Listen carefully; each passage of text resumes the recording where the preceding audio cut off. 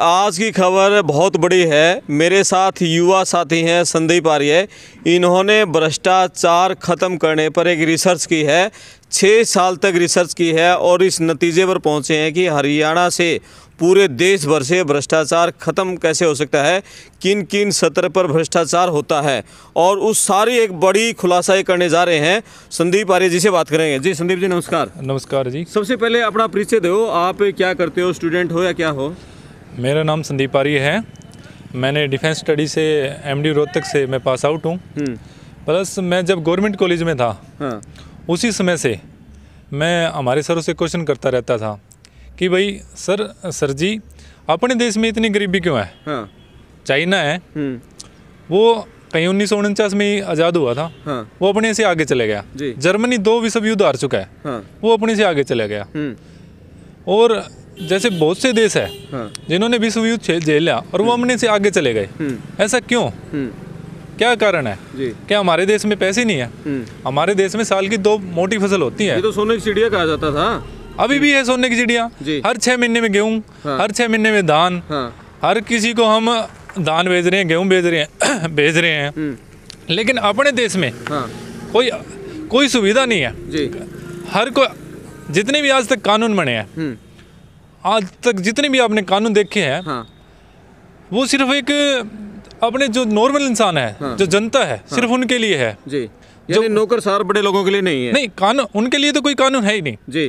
कानून किसके लिए है? हाँ। कानून सिर्फ़ अपने लिए। जी। जो अब कोई साइकिल लेके जा रहा है मोटरसाइकिल लेके कार चला रहा है या जो सामान्य व्यक्ति है जो इन द चेयर नहीं है हाँ। चेयर पे नहीं है जैसे लोकसभा के सदस्य है राज्यसभा के सदस्य है और ये एम एल हाँ। जितने पूरे देश के हैं हम्म, इनके लिए क्या कानून है? कोई कानून नहीं कानून इनके हिसाब से चलता है। जी।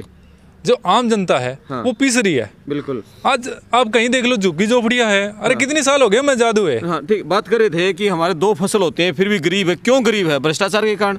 अरे साहब सड़क बनाने में भ्रष्टाचार स्कूल बनाने में भ्रष्टाचार स्कूल की भर्ती कराने में भ्रष्टाचार हर चीज़ में भ्रष्टाचार है। आप ऐसे बताओ हर कोई सरकार आती है। हाँ। पिछले आज नौ दस साल हो गई इस सरकार को। ये कहती थी हम आएँगे तो भ्रष्टाचार खत्म कर देंगे। जी। देखो मेरी तो कोई सरकार नहीं है। जी। मैंने साढ़े छः वर्ष हाँ। Government college DN college Hisar government college Hisar DN college हाँ। हिसार हम्म। फिर मैं गया एमडी यूनिवर्सिटी रोहतक। हम्म। दो साल की वहाँ डिग्री करी। उसके बाद फिर मैं कुछ दिन रहा दिल्ली यूनिवर्सिटी। हम्म। वहाँ मैं सिर्फ़ मेरा लाइब्रेरी से काम था और मेरा कुछ नहीं था। Corruption free India. हम्म। उसके बाद मैं गया जे एन यू हम्म। एक हफ़्ता वहाँ रहा। हम्म। मैंने सिर्फ़ किताबों से मैं तो पूछता था जाके भाई मुझे ऐसी किताबें चाहिए। वहाँ के हर किसी स्टाफ ने मेरी इतनी मदद करी है। चाहे वो जे एन यू फिर वहाँ से मैंने वो की।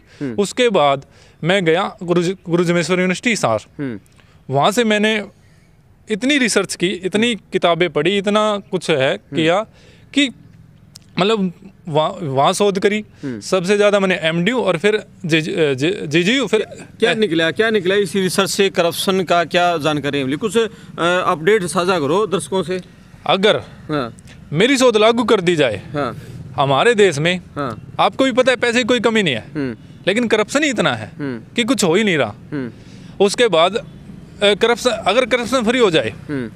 हमारे देश में इतना पैसा है मैं सबको मेडिकल सुविधा दे सकता हूँ एजुकेशन सुविधा दे सकता हूँ। हम्म। मेरी तो कोई सरकार नहीं है। जी। मैं कहता हूँ भाई मेरी सरकार आएगी। आई बार बड़े बड़े वादे होते हैं कि मेरी सरकार आएगी उसकी सरकार आएगी उसने ये कर दिया। अरे ये तो सभी एक ही एक ही पिंदी के लोटे हैं। आज जितने लोग बीजेपी में है वो पहले कांग्रेस में? कैसे कैसे करोगे? मतलब क्या फार्मूला रिसर्च में निकला क्या है? सर वो तो मैं आपको 11 तारीख को बताऊँगा 11 जनवरी हाँ। 2023 हाँ। 2024 हम्म। पंजाबी भवन सेक्टर 14 हम्म। मैंने बहुत सी यूनिवर्सिटी में जैसे एच यूनिवर्सिटी में मैं रहा कुछ दिन कुछ दिन मैं पंजाब यूनिवर्सिटी चंडीगढ़ में रहा। ठीक है वो निकला आप बताओगे कैसे खत्म हाँ। होता है। कहाँ कहाँ भ्रष्टाचार कैसे कैसे हो रहा है वो उसका कुछ तथ्य बताओ कितना का भ्रष्टाचार साल भर में देश में होता है क्या आंकड़ा निकला रिसर्च का? सर हम्म। आज से लेकर जब से अपना देश आज़ाद हुआ हम्म। पहले आप कोई कानून नहीं बना सकते थे कानून बनाते करते अंग्रेज़। हम्म। अंग्रेज़ बनाते थे जो भी हम जैसे साइमन कमीशन थोप दिया या जो भी थोपया जैसे इस इस राज्य में अफीम उगाई जाएगी इस राज्य में ये उगाई जाएगी ये ये हमारे अंग्रेज़ों के टाइम का था भी वो उनकी सरकार थी उन्होंने कानून थोपया। आज क्या है? आज तो मुझे ऐसा लग रहा है कि अपने देश में काले अंग्रेज़ आ गए। खाते हैं यहीं रहते हैं और जैसे आप दो भाइयाँ हम्म। अपने को लड़वा देते हैं। ये तो एक के एक है। जी। आपने बहुत मौक़ों पे देखा होगा। हम्म।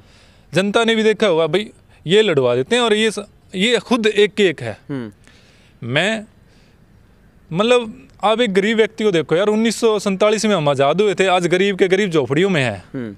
अगर उनको झोपड़ियों से घर में लेके आना है घर से आप कभी भी देख लेना।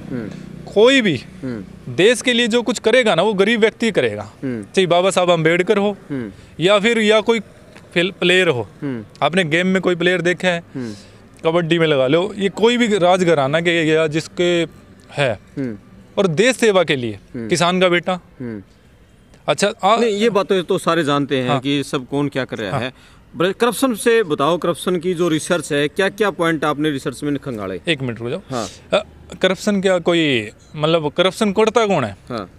कोई रिक्शा वाला करता है जो रिक्शा चला रहा हम्म। है या फिर कोई मजदूर कर रहा है या फिर कोई किसान कर रहा है या फिर कोई युवा कर रहा है जो पढ़ रहा है। करप्शन करते हैं जो मोटे लेवल के अधिकारी है छोटे से छोटा अधिकारी और मोटे से मोटा अधिकारी और मोटे से मोटा राजनेता। ये मैं कहता हूँ ग्यारह जनवरी को हम्म। मेरी रिसर्च लागू होने के बाद मैं आपको बता दूँगा हम्म। कि पूरा देश इनको कहेगा भाई ये रिसर्च लागू करो अगर देश को आगे बढ़ाना है। नहीं आपने इस पे जो स्टडी पढ़ाई करते समय ये टॉपिक था क्या आपका? टॉपिक नहीं था। टॉपिक जैसे मैं एक आर्य समाजी हूँ। हाँ। मुझे जैसे स्वामी दयानंद सरस्वती जी हम्म। मैं उनको पढ़ता था शुरू शुरू से। और हमारे यहाँ डी कॉलेज में हर एक तारीख को मतलब यज्ञ होता है। हम्म। हम उसमें बैठते थे। हम्म। तो उसमें हमें यही सिखाया जाता है कि पहले पहले देश। हम्म। अब नौजवान भारत सभा है। 1926 में बनी थी। उसका भी यही है जात पात सब साइड करो। पहले हमारा देश। इस करके जो मेरी शोध है मैं आपको 11 तारीख को ये आपने अभी तक कहीं प्रेजेंट नहीं की है किसी कॉन्फ्रेंस में या कहीं है? नहीं मुझे मैंने अभी मेरी शोध किसी को नहीं की। मैं ना मैंने सीएम को चिट्ठी भेजी थी। हाँ। माननीय मुख्यमंत्री मनोहर लाल जी को चिट्ठी भेज रखी है हम्म। सीएम विंडो लगा रखी है उनके बाद सीएम विंडो की जो फ़ोटो स्टेट है मैंने उनको दे रखी है। हम्म। आप कहते हो पंजाब का सीएम। हम्म। उनका ओएसडी है हम्म। उनके घर के अंदर चंडीगढ़ में। हम्म। उनको मैंने चिट्ठी दी थी आठ दो हम्म। दो हज़ार तेईस। हम्म। अगर वो मैं पहले सोचा मैं स्टूडेंट हूँ यार मैं क्या करूँगा? क्योंकि इतने विकल्प नहीं है। स्टूडेंट क्या कर सकता है इतना? आठ दो दो हज़ार तेईस को मैंने भगवत मान के एस डी ओ बराड़ है कोई एस डी ओ उनका हाले भी शायद बराड़ी है। उनको चिट्ठी दे दी। उसके बाद माननीय मुख्य उससे पहले मैं गया था मुख्यमंत्री मनोहर लाल कहते भी बहुत शरीफ आदमी है बहुत बढ़िया आदमी है। उनको मैं मिलने गया तो उनका ओ एस डी बोला फिर बोला तू भ्रष्टाचार खत्म कर देगा क्या? हम्म। मैं सर विद्यार्थियों ने इस देश के लिए क्या नहीं किया? मैंने उनको कहा था विद्यार्थियों ने देश आज़ाद करा दिया। आप भ्रष्टाचार की बात करते हो।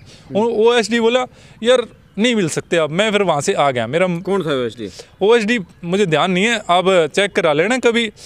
आठ दो दो हज़ार तेईस। सुबह सुबह की बात है और गोरा सा था हल्का सा गोरा रंग का था और दाढ़ी मुझे नहीं रखता था। अच्छा केजरीवाल तो भ्रष्टाचार खत्म करने में बड़ी बात करते हैं। उनसे भी आपने बात चिंता ना करो। उनको भी चिट्ठी भेजी हुई है। आप मेरे बैग में रखी हुई है। उसकी जो मैं चिट्ठी भेजता हूँ वो डाक पे लिखा होता है। हम्म।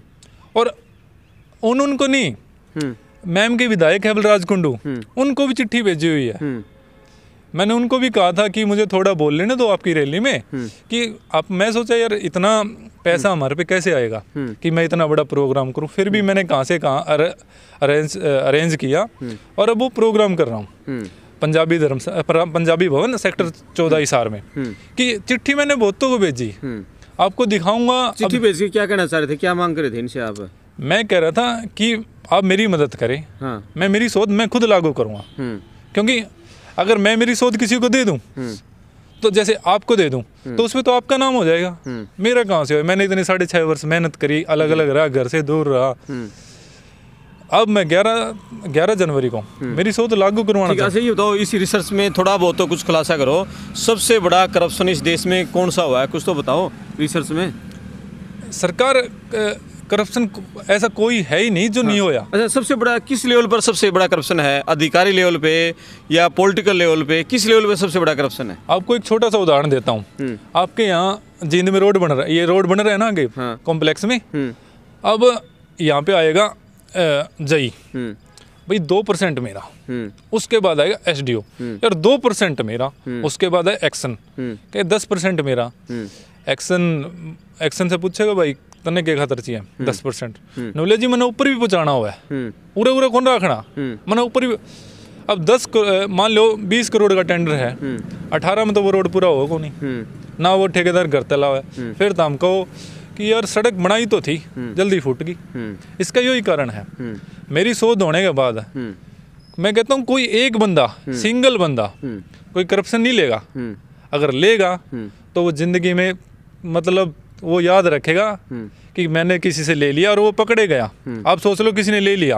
अब बहुत से पकड़े जाते हैं उनका क्या होता है? समझौता हो जाता है फिर वो नौकरी पे आ जाता है। टेक्निकल होगा ऑनलाइन रहेगा क्या रहेगा? ऑनलाइन नहीं रहेगा। हाँ। एक ऐसा कानून बनवाऊँगा। हाँ। उस कानून के तहत अगर कोई पकड़ा गया तो वो ज़िंदगी भर याद रखेगा। ओके। हाँ। चलो भाई चौदह ग्यारह जनवरी? हाँ ग्यारह ग्यारह जनवरी को हिसार की पंजाबी धर्मशाला में पंजाबी भवन सेक्टर चौदह। हाँ, पंजाबी भवन में संदीप आर्य जी भ्रष्टाचार खत्म करने पर खुलासा करेंगे। और आप मेरे साथ बने रहिए। ग्यारह जनवरी को भी हम इनके साथ अपडेट रहेंगे। मैं आपका दोस्त करमपाल धन्यवाद। धन्यवाद। धन्यवाद जी। थैंक यू नमस्कार।